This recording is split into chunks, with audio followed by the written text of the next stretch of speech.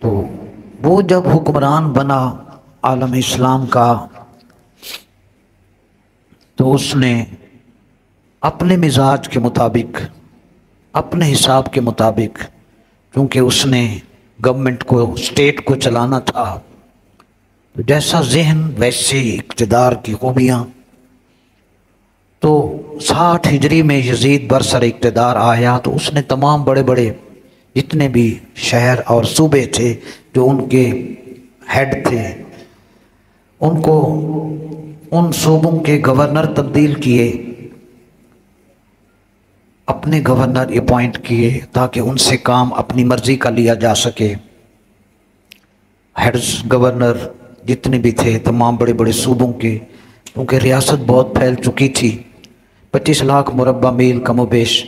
حضرت عمر فاروق کے دور میں پھر حضرت عثمان غنی کا دور، اللہ اکبر، تو بہت وسیع اسلامی سلطنت کا رقبہ تھا۔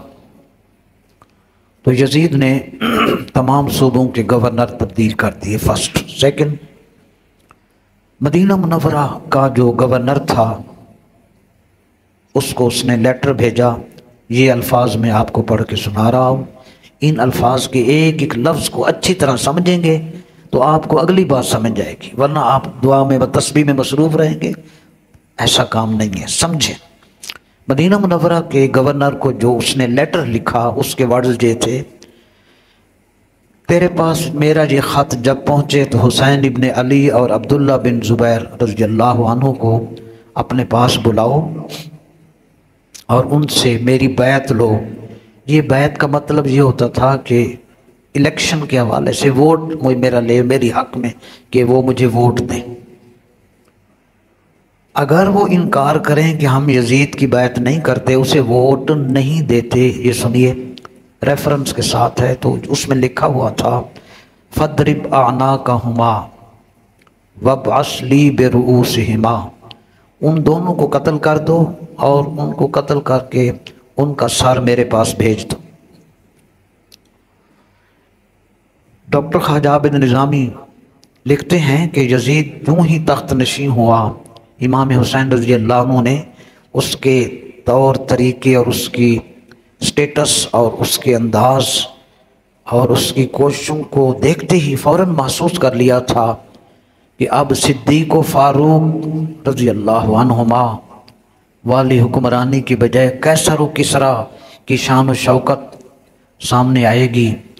خلفۂ راشدین آزادانہ منتخب ہوا کرتے تھے، مگر اب حکمران جبرن مسلط کیے جائیں گے۔ اظہار رائے کی آزادی جو ہر مسلمان کا بنیادی حق ہے، ہمیشہ کے لیے چھن جائے گا یہ حق۔ اللہ کی بادشاہت کی بجائے دنیا کے بادشاہوں کی حاکمیت قائم ہو جائے گی اور قرآن و سنت کی بجائے آل ان آل سلاطین بادشاہوں کی خواہش کے مطابق قانون بننے لگ جائیں گے۔ جب آپ نے یہ محسوس کیا تو پھر زہرا کے لال حضرت امام حسین رضی اللہ تعالیٰ عنہ پوری طاقت سے اٹھے اور اسلامی خلافت کو بچانے کے لیے انہوں نے تن من دھن کی بازی لگا دی۔ میرے برادران، اسی کو اقبال علیہ رحمہ نے کہا تھا، آئین جمع مرداں حق گویو بے باقی اللہ کے شعروں کو آتی نہیں روباہی۔ چنانچہ حضرت امام حسین رضی اللہ عنہ پر یزید کی بیعت کرنے کا دباؤ بڑھتا گیا۔ بالآخر، آپ نے یزید کو سپورٹ کرنے کی بجائے مدینہ منورہ سے ہجرت کا فیصلہ کیا۔ شابان المعظم ساٹھ ہجری کو امام حسین رضی اللہ تعالیٰ عنہ اپنے اہل و عیال سمیت مدینہ منورہ سے مکہ معظمہ روانہ ہوئے۔ مکہ مقدمہ معظمہ پہنچے تو اہل عراق جہاں کربلا معلّہ اس وقت ایگزسٹ کرتا ہے۔ یہ کوفہ سے قریب ہے، میں بھی حاضر ہوا تھا نائنٹین ایٹی نائن میں۔ تو عراق کے کا ایک شہر ہے کوفہ کوفہ کے ساتھ نجف نجف سے آگے پھر کربلا معلّہ۔ میرے برادران، تو حضرت امام حسین رضی اللہ تعالیٰ عنہ کی خدمت میں عراق کے لوگوں کے خطوط آنا شروع ہوئے کہ آپ ہمارے پاس آئیں، ہم آپ کی حمایت کرتے ہیں۔ بار بار خطوط کا سلسلہ شروع ہوا اور کئی کوفہ کے جو بڑے سردار تھے وہ چل کر آپ کی خدمت میں حاضر ہوئے اور کہا کہ آپ کوفہ آئیں اور ہم آپ کا ساتھ دیں گے۔ اور ہم اسلامی حکومت قائم کریں گے۔ تو جب ان لوگوں کا اصرار حد سے بڑھ گیا، تو آپ نے حالت کی، حالات کی تحقیق کے لیے اپنے چچا زاد بھائی حضرت مسلم بن عقیل کو کوفہ بھیجا۔ حضرت مسلم بن عقیل رضی اللہ عنہ جب کوفہ پہنچے، تو ہزاروں لوگوں نے آپ کی بیعت کر لی۔ ہزاروں لوگ آپ کے ساتھ مل گئے۔ ہزاروں کی تعداد میں لوگ حضرت مسلم بن عقیل رضی اللہ عنہ کی حمایت میں پہنچ گئے۔ میرے برادران، اس ابتدائی صورتحال کو دیکھ کر حضرت مسلم بن عقیل رضی اللہ تعالی عنہ نے حضرت امام حسین رضی اللہ عنہ کو خط لکھا کہ حالات بڑے سازگار ہیں، لوگ بالکل اچھے ہیں۔ بڑی حمایت کر رہے ہیں۔ آپ تشریف لے آئیں کوفہ۔ یہ ایک سین ہے، یہ ایک منظر ہے۔ بالکل ایک اتھینٹک جو حالات ہیں، کیونکہ عام جو مسلمان ہے، وہ جانتا نہیں ہے ان حالات کو۔ میرے برادران، آپ نے حضرت امام حسین رضی اللہ تعالیٰ عنہ کو کوفہ آنے کی دعوت دے دی، حضرت مسلم بن عقیل رضی اللہ تعالیٰ عنہ۔ اب دوسرا، دوسری سائڈ جب یزید کو معلوم ہوا کہ کوفہ کے اتنے لوگ یزید کے جاسوس مقرر تھے، انہوں نے فوراً اطلاع کی یزید کو کہ یہاں مسلم بن عقیل کے اوپر تو بہت تعداد میں لوگ ان کی حمایت میں کھڑے ہو گئے ہیں اور بڑا پاپولر ہو گئے ہیں یہ۔ تو پھر جزید نے بسرا کا گورنر تبدیل کیا۔ اور بسرا کے گورنر کس کو لگایا؟ ابن زیاد کو، کوفہ کا گورنر یزید نے بسرا کے گورنر، جو پہلے بسرا کا گورنر تھا، اس کو وہاں سے چینج کر کے کوفہ کا گورنر مقرر کر دیا۔ اور اسے کہا کہ مسلم بن عقیل کی جتنی بھی ایکٹیویٹیز ہیں، ان کو فوراً روکو۔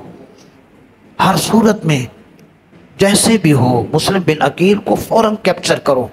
میرے برادران، چنانچہ وہ تیزی سے آیا اور جب کوفہ پہنچا تو اس نے لوگوں کے تعاون سے حضرت مسلم بن عقیل کو پہلے گرفتار کیا اور پھر ان کو شہید کر دیا۔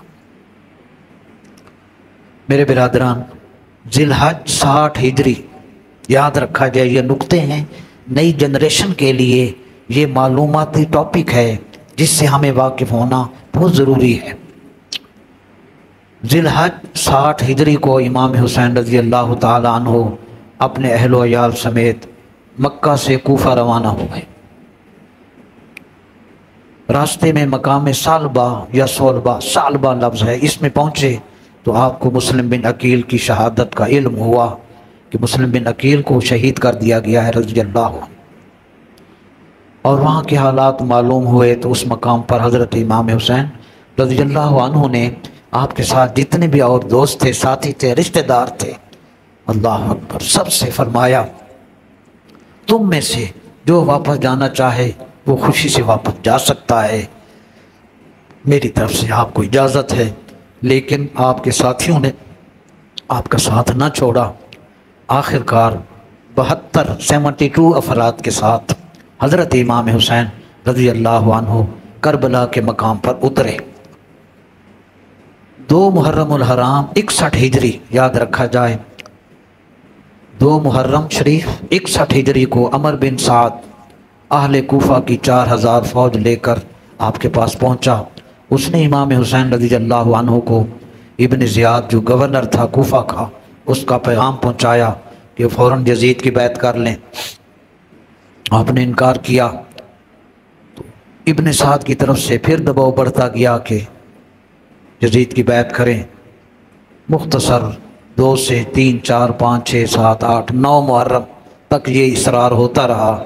نو محرم کو عصر کے وقت یہ آرڈرز آئے گورنمنٹ کی جانب سے کہ دریائے فرات، ہم نے یہ نہر نہر فرات، چھوٹی سی ہے، اس کو ہم نے دیکھا تھا جب ہم اس سے گزر رہے تھے۔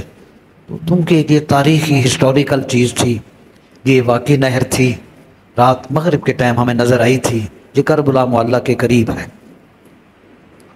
حکم آیا کہ اس دریا پر خوب پہرا لگا دو، مضبوط کرو تاکہ امام حسین پانی حاصل نہ کر سکیں۔ تو نو محرم کو ابن سعد نے آخری مہلت دی کہ کل دس محرم ہے۔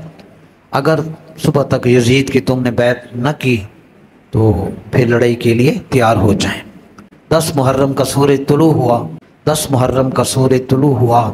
امام حسین رضی اللہ تعالی عنہ نے۔ اللہ کربلا کی سرزمین کو اس لحاظ سے دیکھا جائے کہ وہاں بہت بڑا سبق ہے ہمارے لیے اور آج بھی امام علی مقام وہاں ان کا روز اقدس ہے۔ دس محرم کا سورج طلوع ہوا جس دن اکسٹھ ہجری، دس محرم، سیدہ فاطمہ زہرا رضی اللہ عنہ کے شہزادے امام حسین رضی اللہ تعالیٰ عنہ نے اس کوفی فوج کے سامنے آخری خطبہ دیا۔